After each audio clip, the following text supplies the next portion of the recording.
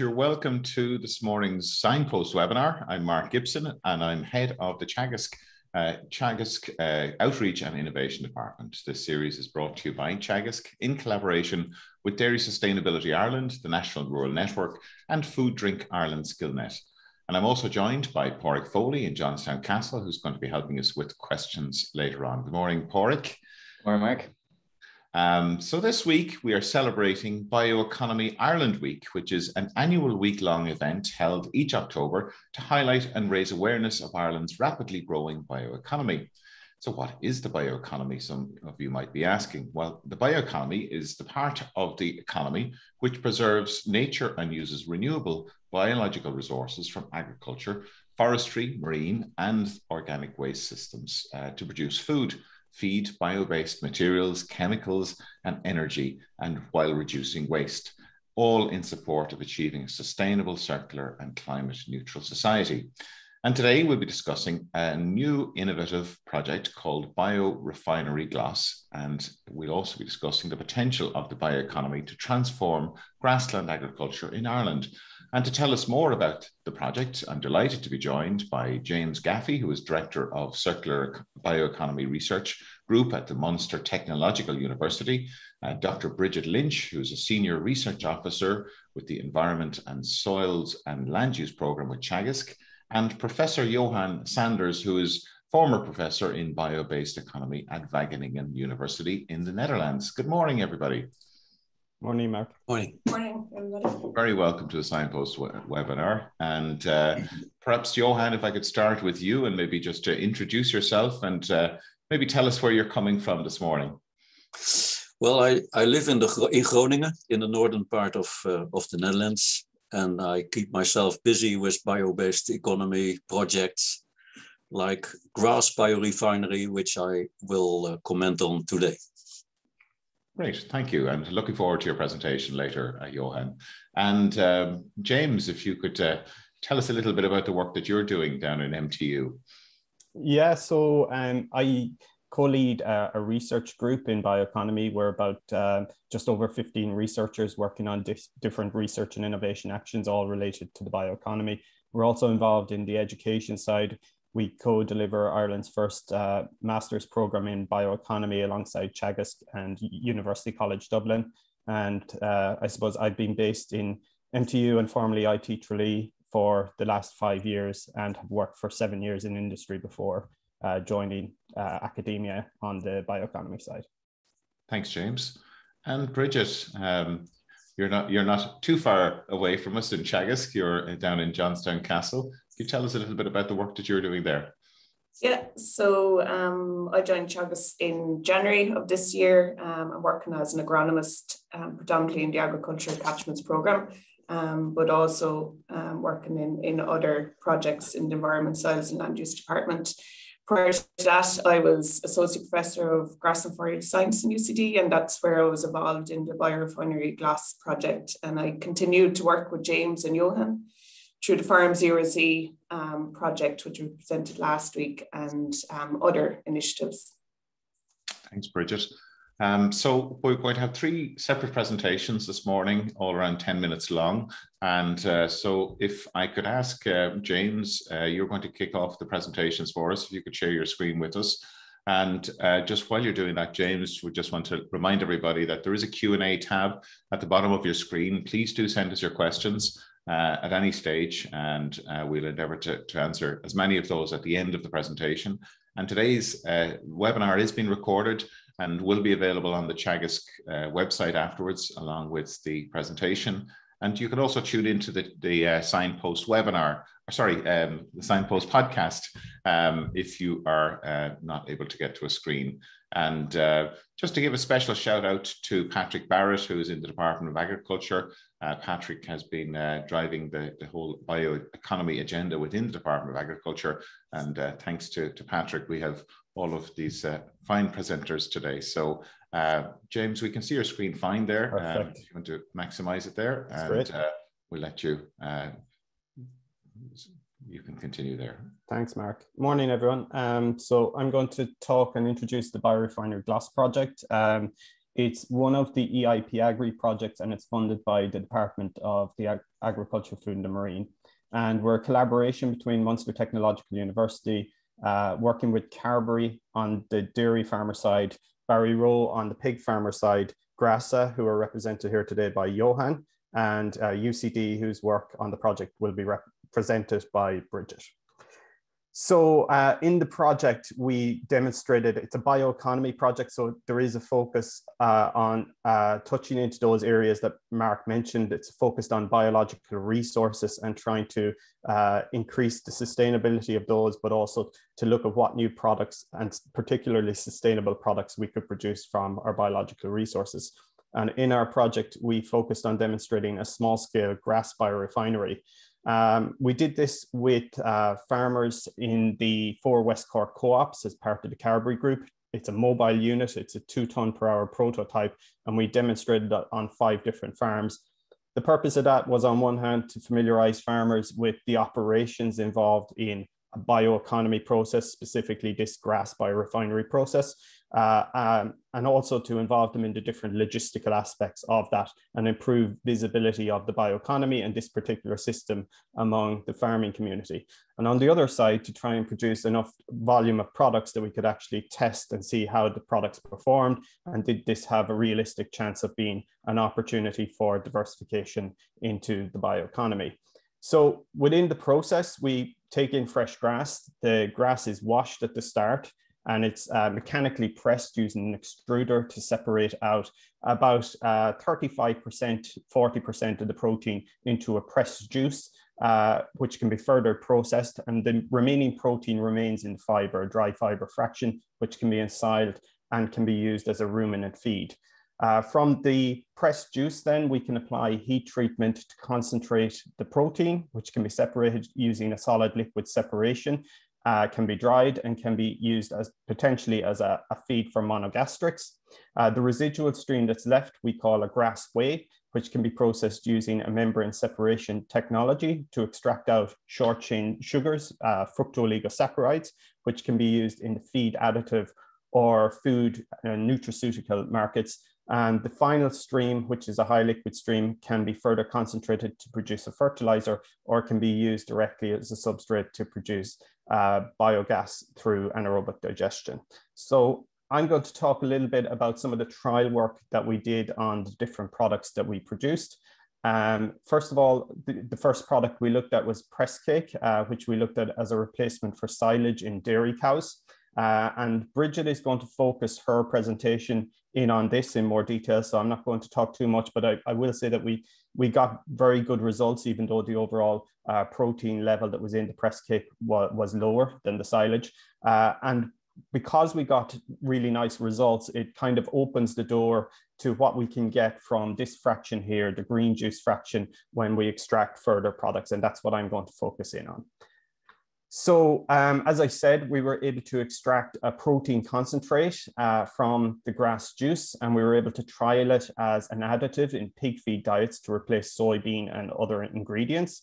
Uh, we did this uh, through a farm down in Cork uh, owned by Cathal O'Donovan, uh, a pig farm, and we tested it uh, a 55, a 31 day period with 55 weaners, nine week old, uh, in each batch and tried to include about 15% of the grass protein concentrate into a treatment diet and compared it to a traditional uh, weaner diet for weaners of that age. So just if you look at the crude protein, it's about 34%, the crude fiber is about 6%, uh, we integrated this into the diet and we were able to take out about 30% of the soybean meal in the diet, in the traditional diet, about 25% of barley and about 8% of the wheat.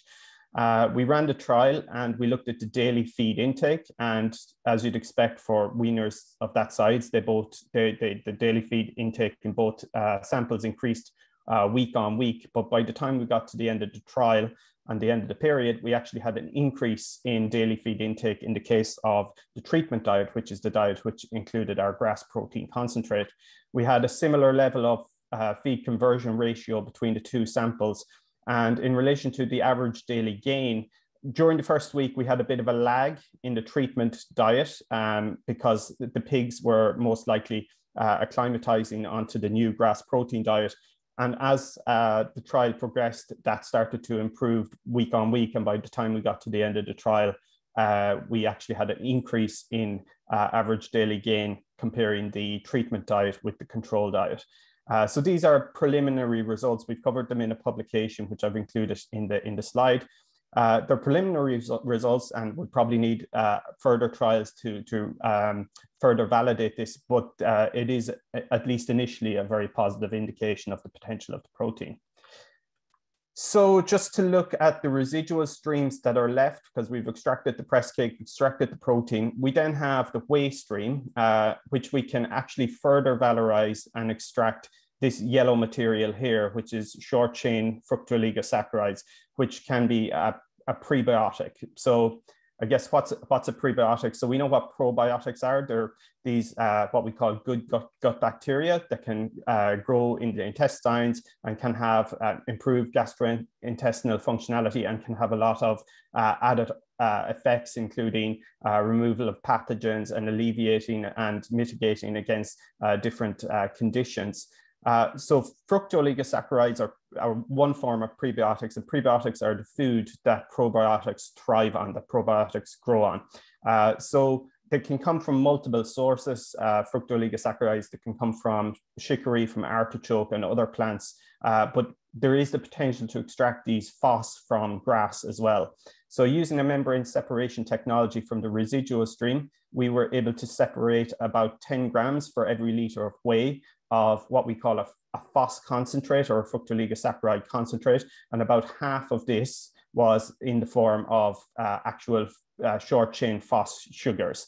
So to assess the potential of the FOS sugars, we did some lab scale work using a culture called, uh, a, a, technique called cell culture, uh, where we used the FOS to grow um, the, the probiotic bacteria to understand the potential for increasing cell, cell density as a result of the, the addition of the FOS sugar.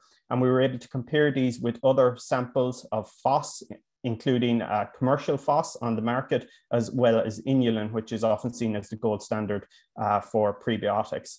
And uh, overall, we had very positive results across uh, all of the uh, probiotic bacteria. In particular, we had a very good uh, comparison between the grass-based FOS and the commercial FOS. And while it's an early stage work, it, it does give an indication that there may be possible to get this value-added product from grass in the future.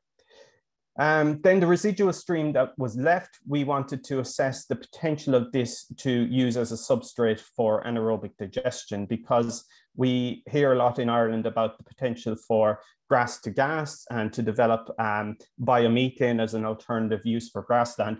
So what we're trying to assess within the project as well is to understand what, to what extent we could extract uh, some value-added products like protein, like FOS, like press cake, and still have some residual streams that could be used for the production of biogas or biomethane. So we did some work with our industry partner, Celignis Analytical, on a lab scale to look at the potential of the side streams to be used for the production of anaerobic digestion what we found was that overall on a volatile solids basis and dry matter basis, we had a very uh, good level of production comparable with silage for both the biogas and biomethane. It's quite a bit lower when we look at the fresh weight, which you would expect because of the products that we've pressed out of the, uh, of, of the grass. Uh, but it had a positive uh, from the point of view of retention time, it was a very easily digestible uh, material. We had about 80% of the uh, biogas produced within the first five days, which is significantly shorter. So we think it could be implemented and upscaled without too much technical difficulty. Uh, and it, it, does have the potential, if combined with CHP, combined heat and power, to meet uh, most of the energy demands of the biorefinery, which would be positive from the sustainability point of view as well. So those are the main streams that we looked at. Um, and Bridget is going to go into the press cake. Um, but before I finish, I just want to mention the farmers who uh, we couldn't have done this project without. Uh, so the dairy farmers who participated, Vanessa, Kevin, Michael, Michael, Tim and Shane, and Cahill and Declan who participated on the pig feed trials. And we couldn't have done this without them. And I don't think we can have a bioeconomy without the participation of farmers because it depends on the production of biological raw materials. Um, so if we're to have a sustainable, long-lasting bioeconomy going into the future, uh, we need to think about how farmers are going to be part of that. And I think one of the focuses of the biorefinery glas project was to really try as much as possible to put the farmers front and center, improve farmer knowledge of this. Uh, but going forward, I do think it's important that we uh, make sure that these new business models that are being developed, if they're to be sustainable, they need to have farmers at the core. Um, so a big shout out to all of our farmers, and that's all from me. And I'm passing back to you, Mark. Thanks, James. Um, so we're going to move swiftly on to Bridget's presentation. So Bridget is going to uh, present now. So um, hi, Bridget. Yeah. So looking forward to having a good discussion afterwards. So do send us your questions using the Q&A tab at the bottom of the screen. And uh, we can see your screen now, okay? Uh, we can see presenter mode, I think. So display settings, yeah, and, and just do swap, isn't it? Yeah. Okay. Um, so thank you, James. And I'm going to present the dairy feeding trial that was completed with the press cake on behalf of the team at UCD Lyons Farm, where the work was conducted. And a special thanks to the master student on the project, Eleonora Sierra, um, who completed the work. So I'm going to start off with the baseline forages that were used in the feeding trial. Um, so James explained how the press cake was produced. Um, and it's important to note that the press cake um, was produced between the 1st of July and the 7th of August 2019.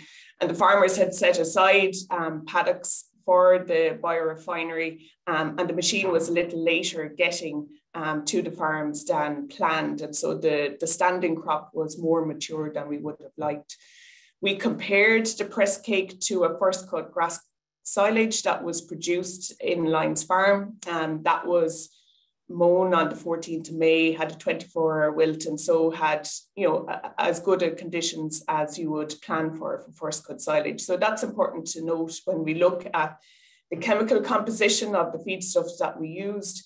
So in combination with the maturity differences in the standing crop and the, the refinery process, the press cake had a higher dry matter percentage, a lower crude protein, um, higher fiber fractions. So those of you not familiar with chemical composition of feedstuffs, the NDF is neutral detergent fiber and the ADF is acid detergent fiber and just tells us the fiber fractions that are in the feedstuffs. Um, and another one to note is a slightly lower phosphorus content in the press cake compared to the first cut grass silage.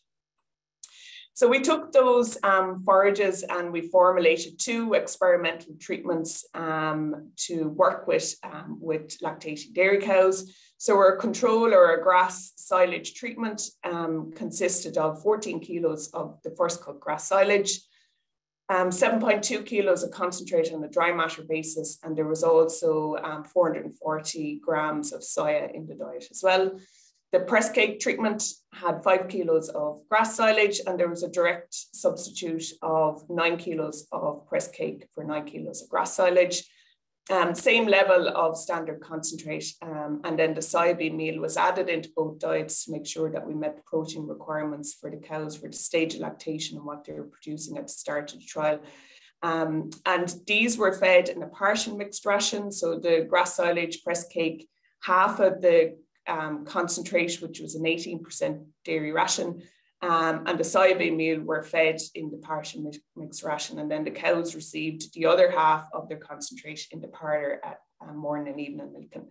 So the cows that we use, so we selected 30 autumn calving um, Holstein Friesian dairy cows from the commercial herd at Lyons Farm, and they were 70 days in milk uh, at the start of the trial, producing 31 kilos per day um, at 4.3 and 3.7% fat and protein respectively.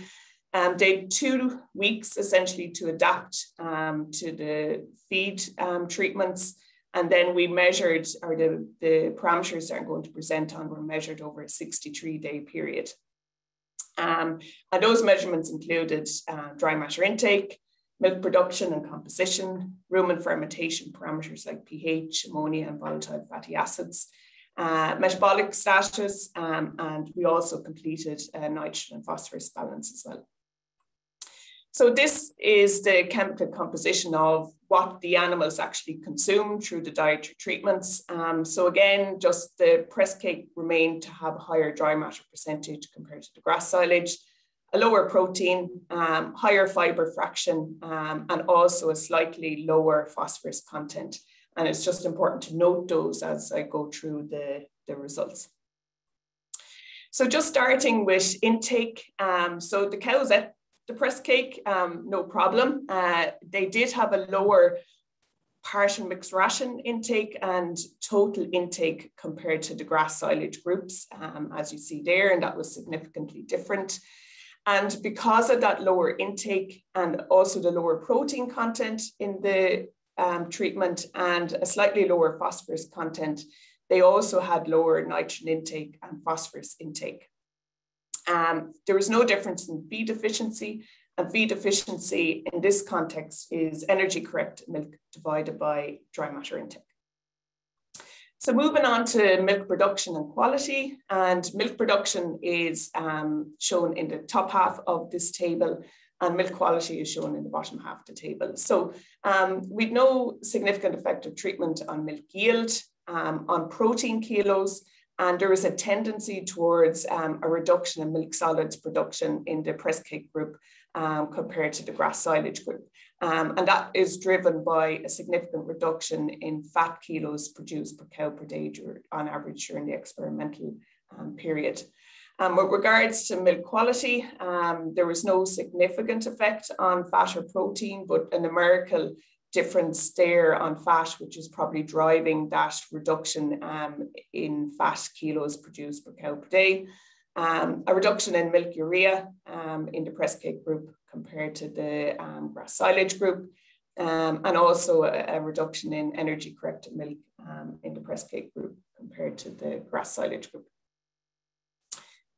So other findings, um, from the measurements that we took during the animal feeding study. So um, what I'm showing here, the arrows are press cake versus grass silage, and these were significant effects. Um, there was a reduction in rumen ammonia concentration of the um, protein or nitrogen that the animals consumed in the diet. There was more excreted in milk and feces, and there was no difference in urinary nitrogen. And that's important because urinary nitrogen is volatilized much, much more readily um, compared to fecal nitrogen. And we obviously want to see more of the nitrogen diverted into milk and feces. There was an overall reduction in nitrogen and phosphorus excretion, um, and there is an increase in nitrogen use efficiency in the press cake group compared to the grass silage group. So just moving on, Eleonora also completed um, an in vitro study with the rumen simulation techniques. So this is essentially a lab-based rumen.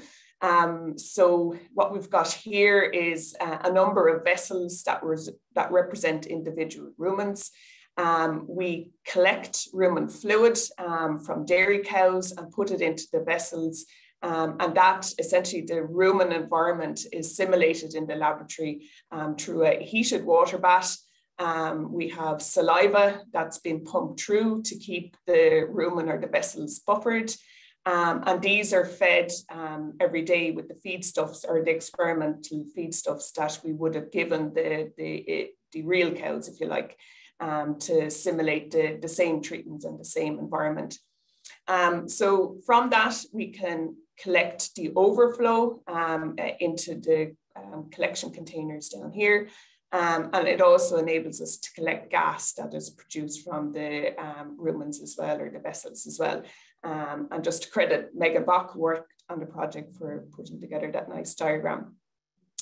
So we looked at the same two dietary treatments that I explained already. Um, and over the eight day experimental period, um, we were able to collect um, or estimate apparent digestibility, pH, in vitro fermentation parameters, in vitro total gas and methane production as well.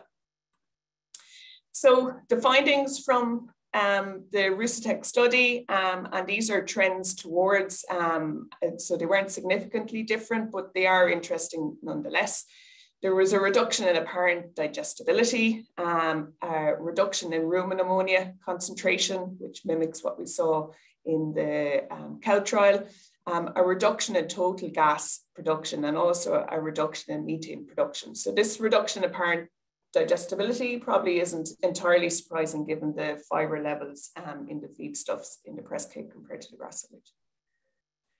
So to conclude, um, press cake has the potential to partially replace grass silage in the diet of early lactation um, dairy cows. Um, and I think if we can target, um, you know, harvesting the feedstuff um, or the grass, um, just as it's about to head out at more vegetative stage, then I don't think you would see a difference in the performance of the animals. There was a reduction in nitrogen and phosphorus excretion and an increase in nitrogen use efficiency that shows the potential, I guess, um, for environmental mitigation um, through the use of press cake. And Johan is going to expand more on the nitrogen use efficiency and protein replacement.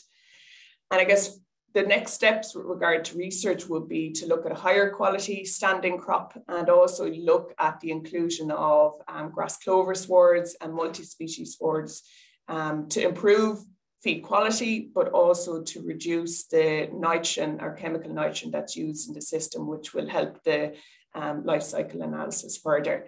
Um, and Laurence, as part of the Farm Zero C project, um, Laurence Shalloo is starting a trial with press cake, and he is going to be putting the cows um, through the green feeds. Um, and so there will be um, methane emission um, work um, coming in, in the next couple of months from the Farm Zero C project as a follow-on. That's it from me. Okay, thanks, Bridget. That's uh, gives a very good assessment of the the animal uh, digestibility side of things. A few questions coming through there on your, your presentation. We'll, we'll, we'll come to those at the end. So uh, we now move to um, our final presentation, uh, which is uh, from Johan. And uh, Johan, I'll just send you a link there to start your video as well. Um, can you, yeah, that looks good. Uh, yes, I, I would like to start with uh, the bigger picture. Um, we use... Could, uh, sorry, Johan, to interrupt you. If you could maybe maximize your screen there, go to full slide presentation mode. We use uh, far too much uh, nitrogen to make our daily uh, protein and we have too little land to do that. Two-thirds of our agricultural land in the world is used for animal feed. And at the um, uh, efficiency level that we use nitrogen to make the 50 grams of protein that we eat per day, we need about seven kilograms of nitrogen uh, to get one kilogram in the protein. And with 10 billion people in 2050, we would need more than three times the amount that our uh, planet can cope with. These are the planetary boundaries. Uh, everybody is aware of the CO2 and the greenhouse gases, the biodiversity losses, but also the nitrogen already has overstepped the planetary boundaries. Protein could become uh, scarce in the world if we do not solve this problem we will get a lot of biodiversity uh, loss. We will get um, misharvest after misharvest that could lead to hunger, that could lead to wars, and a lot of migration uh, from uh, people that do not have enough uh, protein. So we could um, use less nitrogen in agriculture. We could make more protein per hectare um, we should increase not only the use of the nitrogen, but also the protein that is uh, produced in agriculture. Sometimes is lost in agriculture, we should use that. Um, and of course, uh, we should uh, reduce the amount of transportation that we require and the farmer income uh, should, uh, should also be uh, higher. There are several solutions, main solutions. So shifting towards a more plant-based protein in our food uh, or growing feed crops, at least on land that is not suitable to grow food crops because they are required for human food. Uh, enhancing the fertilization efficiency of crops using legumes, and those are plants that can fixate nitrogen from the air in a form that you can produce uh, proteins in the uh, plants. And of course, also recycle ammonia from manure digestates, because then you can better direct and control the use of the nitrogen, um, which is now not very easy in manure. Um, biorefinery can help us uh, to have a higher uh, benefit of the proteins grown in plants. I will show you about that. And James already did. Uh, improve the digestibility and also the feed conversion. And what would be a good crop for choice? Of course, it is under our feet, grass, most common in the world, and certainly also in, uh, in Ireland. And if you compare grass or grass clover, which is actually a legume, with other crops, for instance, like soybean, you see that the protein yield per hectare already is quite a lot better than, uh, than for soy. And also some essential amino acids, which is important for uh, monogastric uh, animals, uh, is also important. It's a perennial, so the whole year you can harvest the grass um, and uh, you could also use it in uh, arable um, farming uh, as a perfect rotation crop. As James already has mentioned, we uh, can produce now uh, four different fractions uh, from starting from grass.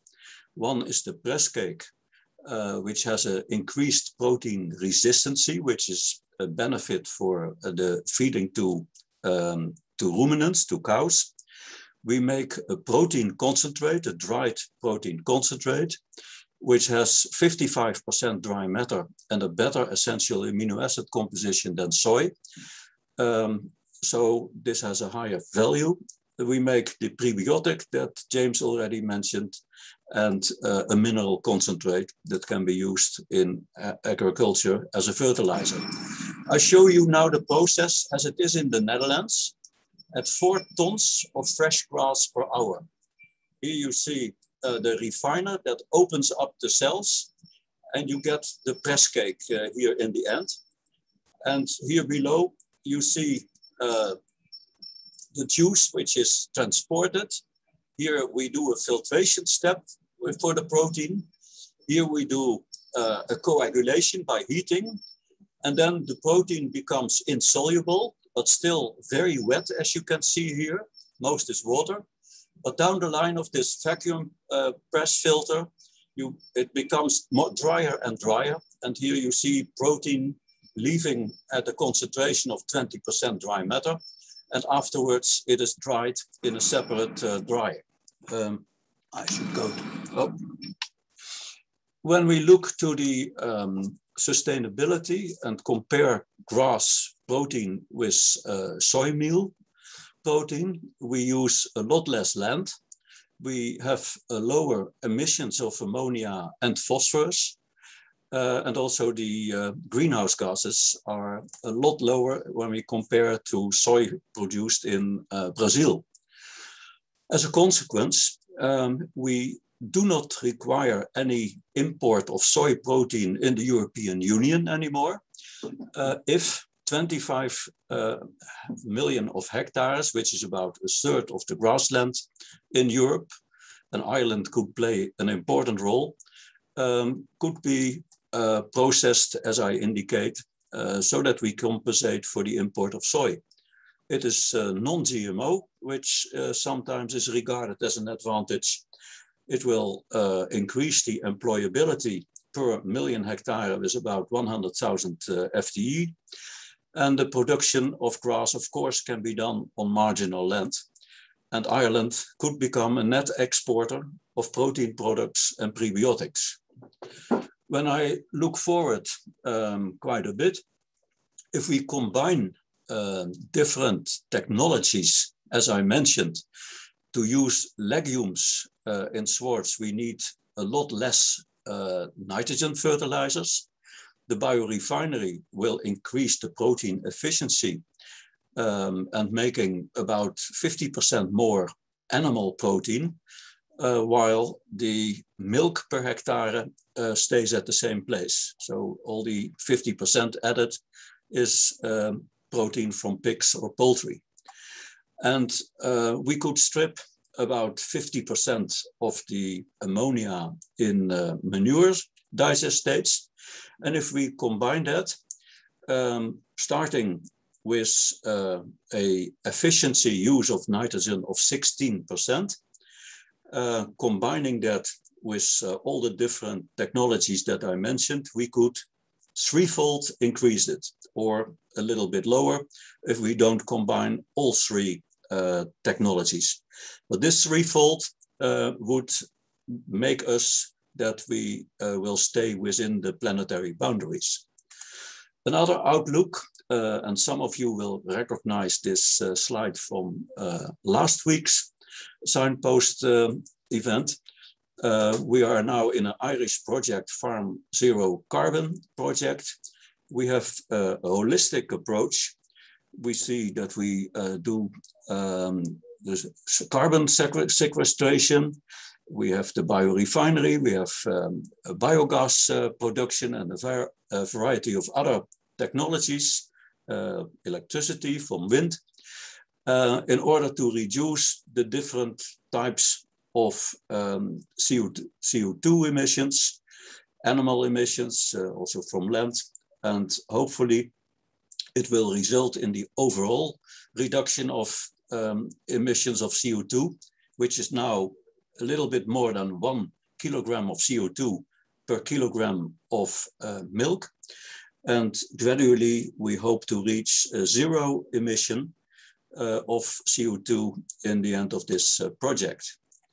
Overall conclusion is that biorefining of grass will increase the animal protein production per hectare by about 50%. Uh, Biorefinery of leaves can substitute all soy imported in the European Union and can make Ireland a net uh, protein exporter. And biorefinery will lead to increased rural employability and increased agricultural incomes. Thank you for your attention. Thank you, uh, Johan. And uh, I mean, that really puts it into context the, the importance of these types of projects, uh, uh given the, the reliance of, of the EU on, on imported uh, protein. I, I, was just looking at some figures there. I think uh, about 14 million tons of soybean is imported by the European Union annually. So, which is a huge, huge amount coming from, from outside of, of, of the, the, the block. Um, so um, we have some questions coming in here, but just before we get to those, um, maybe Johan, if you could stop sharing your screen for us. Oh yeah.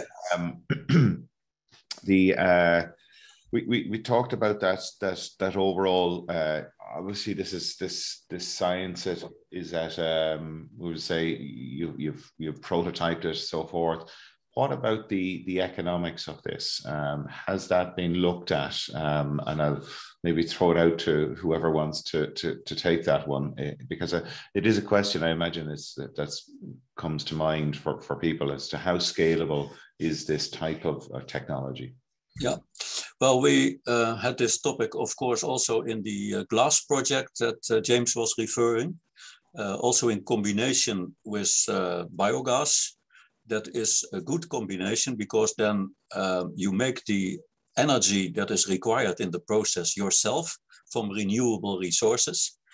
And overall, it came to, uh, to a positive economic result. Uh, that's also the case in the Netherlands, where we now have four tons per hour. But we plan uh, next year to go to eight tons and probably also uh, to 16 tons.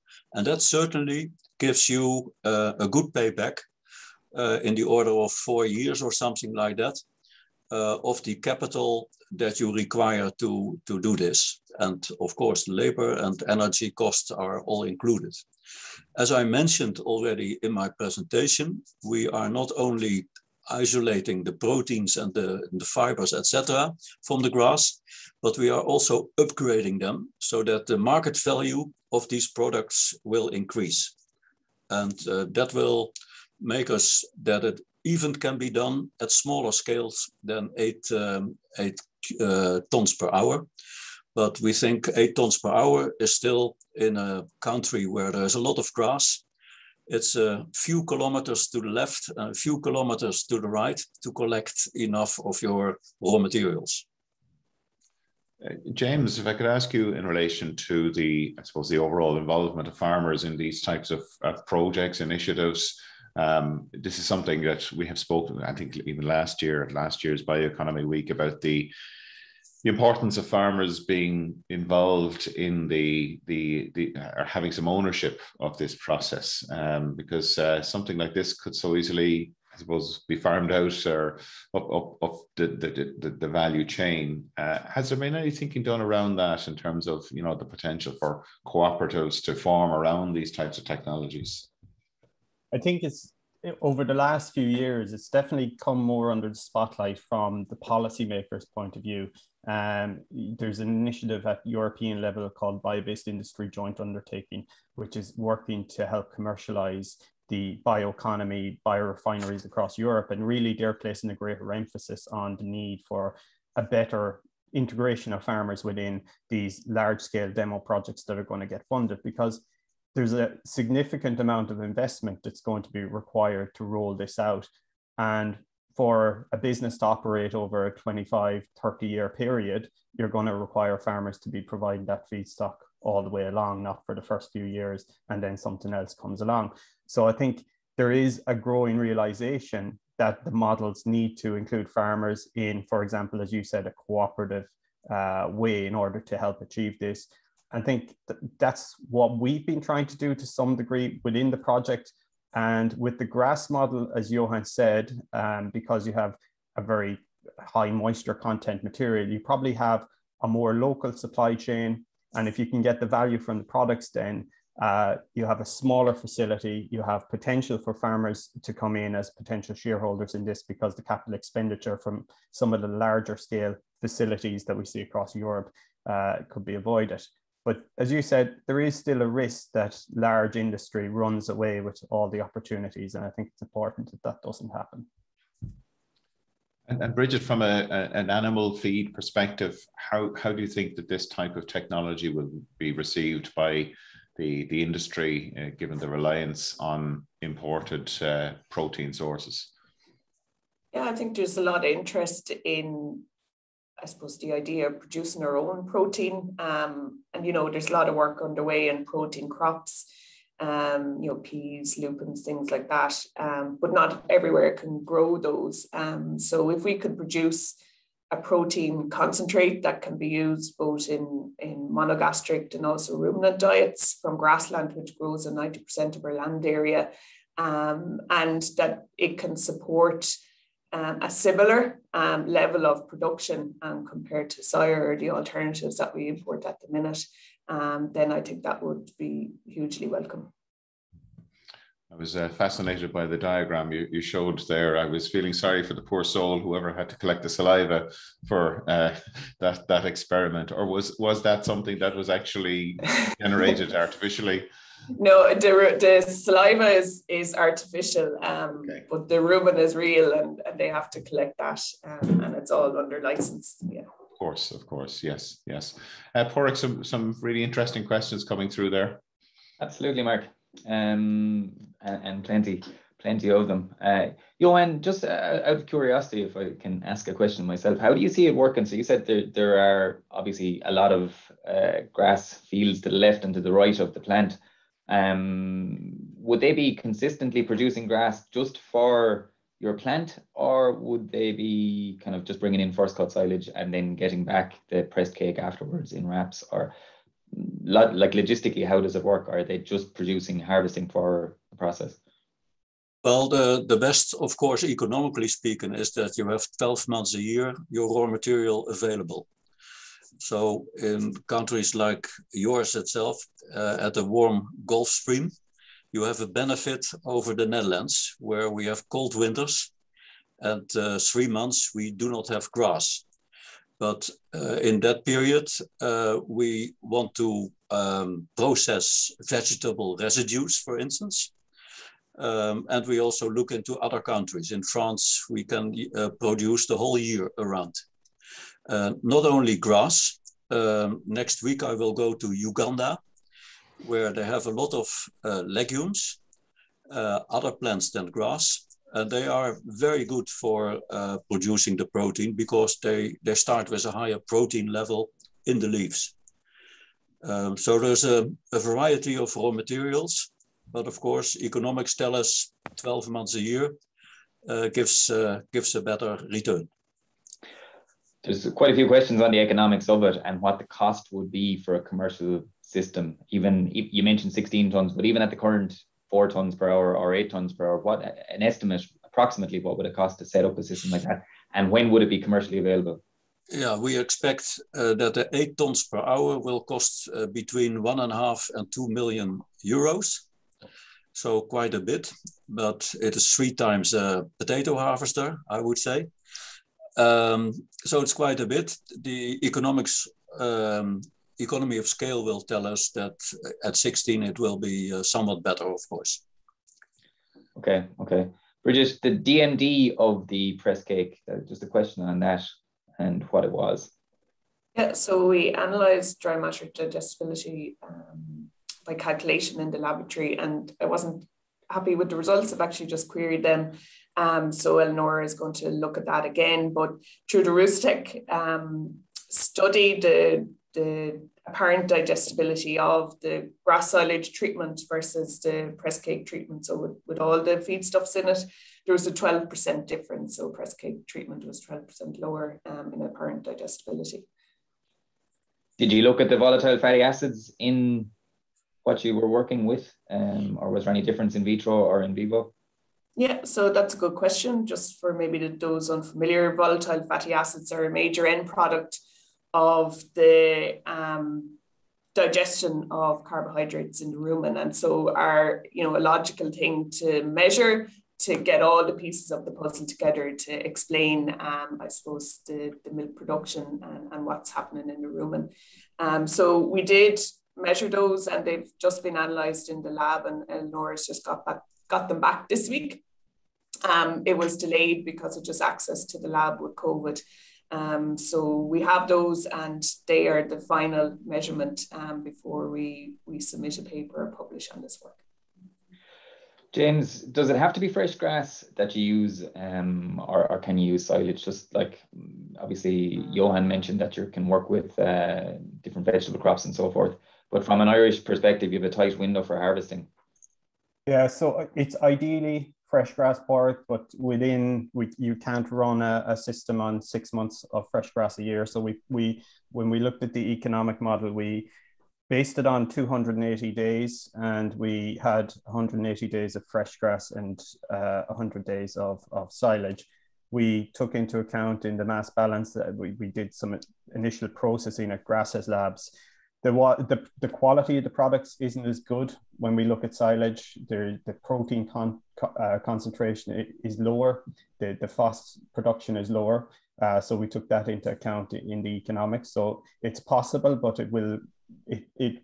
it and, and it needs to we need to have that that extra feedstock but it isn't as as profitable as the six months where we have fresh uh, grass or or other materials sugar beet leaves or other materials that could be available Johan, I don't know if you want to elaborate on that. No, that, that is uh, the case. And uh, the loss in the protein content in the protein product can be recovered in the FOS uh, uh concentrate.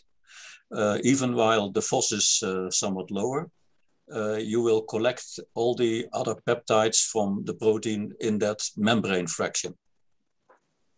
We just have a question in relation to you mentioned about the planetary boundaries, Johan, in your, your presentation. Um, have you looked at the environmental, or the, the overall environmental uh, impact of, of taking, say, one kilogram of press cake uh, and how energy intensive is, is the biorefining process? So I suppose maybe expanding that, and I know you have mentioned in the presentation, but thinking of the, the those wider impacts.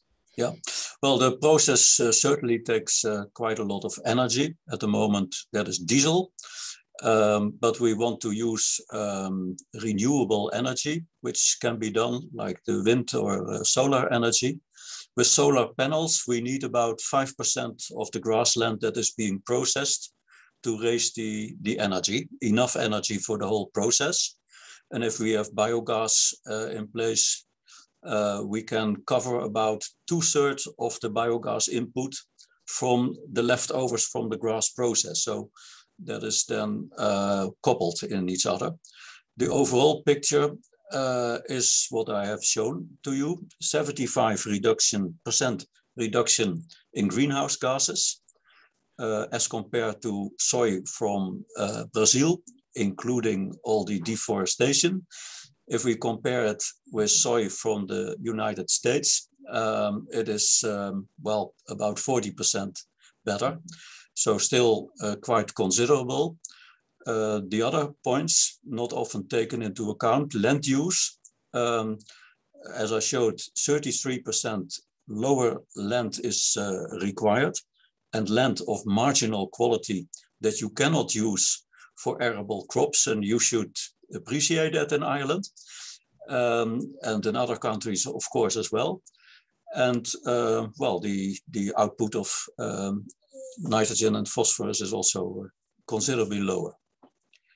And that is important to stay within the limits of this planet. Uh, Bridget, there was a question coming in there around uh, whether it would justify pressing a farm's full winter feed supply, or would you treat it as being the best route for what's now going into surplus bales? Um, yeah, so that's kind of a question if, if you're happy to take that one. Yeah, I suppose I, I kind of see this fitting into a farm system uh, as being something for a fragmented farm where you've outside land blocks and you could use maybe you know a couple of hectares that are away from the yard um, for this and maybe target you know the type of grass species that are in it and the, the, the timing of cutting for that um, I suppose if you're looking at surplus bales, it, it would depend on how it's set up, maybe in a co-op system in the area um, and the supply or what kind of contract you would have with the biorefinery. You know, if it's surplus bales, it's a bit ad hoc and it's very much open to grass growth in a particular year. Um, the winter feed stuff, I think we would need to run another trial on a higher quality standing crop before we could be sure that the press cake could fully substitute for grass silage for the winter period. We have a, a, question here from uh, one of our viewers just, just asking about us to talk about vegetable protein for food. Um, I guess this this this project is is uh, has been developed in the context that the, the, there will be livestock production for the foreseeable future, and that this is part of that that uh, process of, of reducing the environmental impact of livestock, livestock production. Um, I mean, Johan, uh, we, we, we know that there are, you know, a lot of developing countries now are looking to uh, increase the amount of, of meat in their diets. And, uh, you know, that this is something that we, we can't uh, necessarily control centrally or at a, at a global level, but we do need to come up with these bottom-up type approaches that, that you're, you're presenting. Maybe you'd like to comment on that any further? Yeah, I'm, I'm just writing a, a publication at the moment. Also for the Netherlands, it's an issue. But I think we should reduce our animal protein in our diet. But that doesn't say that we need to reduce the animal protein production in our country. And the same could hold for you.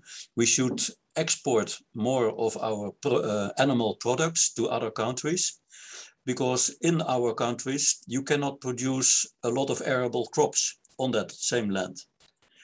What we might do is isolate the protein from the grass or better from legumes. And uh, technically it can be done.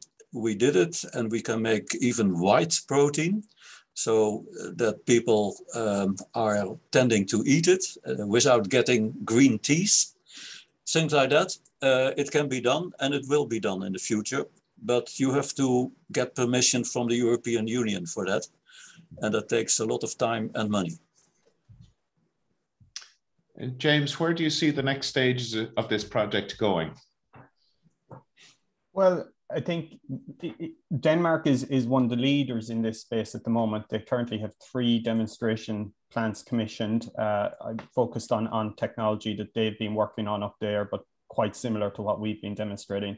And it's been backed heavily by the dairy industry as, as being one of the sustainability plans in the future. So I'd like to see something like that happening in Ireland, um, potentially a demonstration facility uh, that we actually have based here that people can see, because I think it's so replicable that if you did have one successful model, it could be something that could be replicated regionally across the country. And when we talk about the bioeconomy, you know, grass is, is such a key part of that from an Irish point of view. So I think this could fit in very well.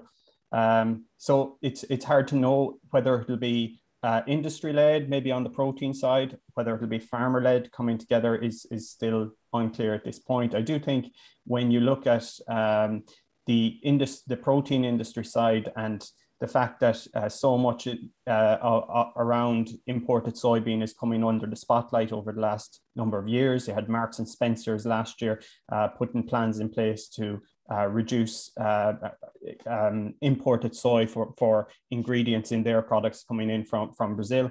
Uh, and, and there's been uh, other companies in the same position uh, over in the UK that I do think is going to come more and more under the spotlight, and this could potentially resolve a lot of challenges there. James, is there any move to do any research on the on the beef side, even with suckler animals? Most of the work so far has been on the dairy side, both here in the Netherlands and in Denmark. I think it should happen, and I think there's definitely a, even though the projects have predominantly happened in the dairy sector so far, there's definitely a, an element where everyone involved feels that there's a role for beef farmers in this as well. Yeah, I, I think the beef farmers they could produce um, the um, the press cake that is unbaled, and they can sell that to the dairy farmers.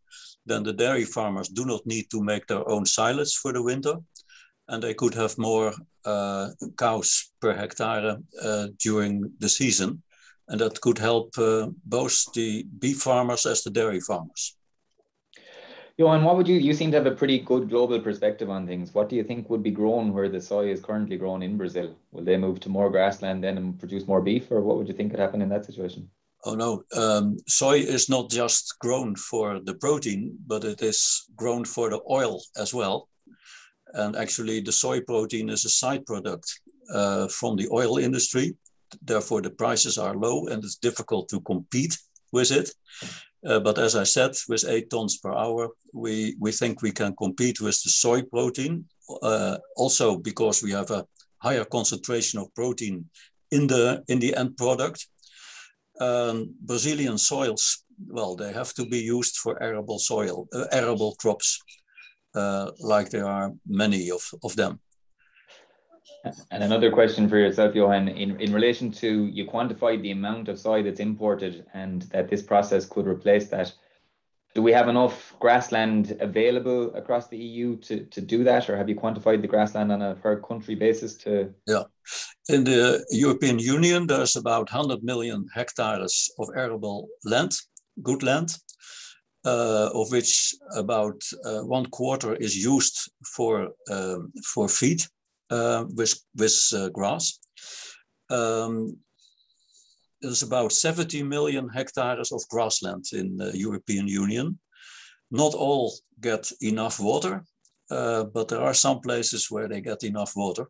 And certainly half of that 70 million hectare uh, is very good for this biorefinery purpose we have a comment in here that somebody's already offering to work with you on the beef side. Um, so that's that's positive. Um, do we have time, Mark, to get a comment from the panelists in relation to wildlife? Just the impact of this process on it? You're yes, yeah, absolutely. Yeah, we we we'll uh, we have time for one more question.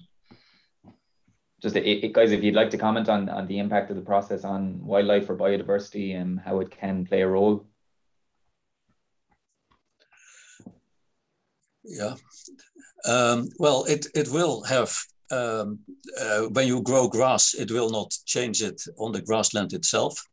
But in the uh, zero carbon project that we are now running, we have a lot of attention for biodiversity, having uh, hedges, uh, counting all the different um, animals that we see, birds, worms, things like that. So that is on the micro level in, in the country itself.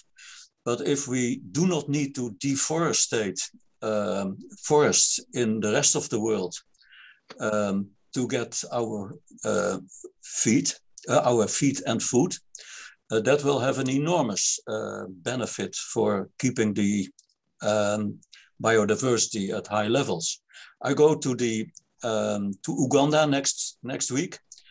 In 1950, they had five million people inhabitants. Now they have 40 million, and they hope to welcome a number 100 million in 2050. So a 20-fold increase in um, in uh, in a century, which means um, the country is not much bigger per uh, inhabitant than the Netherlands, that they will have serious problems to get their food and feed. So we have to work on a much, much better uh, economies for the use of, uh, of land, for the use of nitrogen. And otherwise, um, there will be enormous problems uh, with getting a lot of people, millions of people to Europe to get their food. Okay, there we must leave it. Um, Bridget, um, James, and Johan, thank you so much uh, for your presentations today. And uh, we, we, we I, I, certainly really enjoyed. I mean, look, it's novel technology. Uh, it's it's it's it's it's uh, it's something it, uh, we need to be looking at areas like this to uh, to reduce the the environmental footprint and to extract more value from what we're already producing from the land. So I think it's a fantastic example of, of that. Um, so thanks again. And Porrick, thanks very much for helping with the, the questions today. Um, just a reminder to everybody that um, we uh, today's session is recorded and will be available on the Teagasc website. And next week we'll be speaking to Edward Burgess, who will be talking to us about fertilizer trends in Irish agriculture. Uh, just a reminder to say thank you to our series producer, Andy Boland, and Yvonne Maher and Pat Murphy. And uh, we'll see you all again next week at 9.30. So until next week, enjoy the, the long weekend and uh, we'll chat to you uh, next Friday. Thanks again. Bye. Thanks. Bye.